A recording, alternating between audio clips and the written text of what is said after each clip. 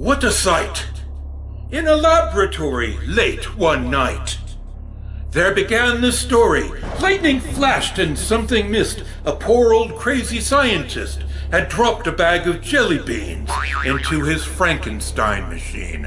And Shrimpenstein ah. was created in just half the time that it takes to make a Frankenstein. And so you see, he's half the size of you and me. And though he'll try, he can't be mean. He's just a little walking jelly bean.